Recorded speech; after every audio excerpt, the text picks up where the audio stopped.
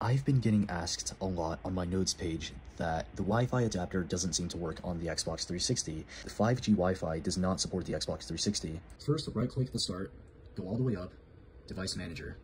You want to go to Network Adapters and click on your wireless NAND, which mine's basically going to be more different than mine. So go to Advanced Wireless Mode. You want to switch it up to...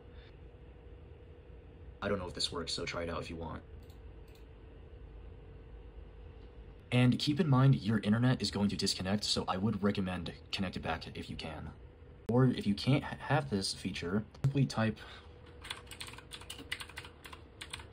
simply type mobile hotspot. If you hadn't created one, then go create it right now. After creating one, turn it on.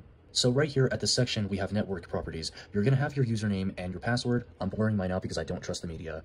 Once you've done all the resources that I gave you, go on your Xbox 360 Slim go on settings and network settings, and you want to find your hotspot right here, which this is basically my hotspot because I labeled it. Yours is going to be way different than mine. Press A. It's going to show you that you need the password. After you type the password, just click done. If you get this brief warning, just continue, please. Complete. You've successfully did it. If you have any questions, then please let me know.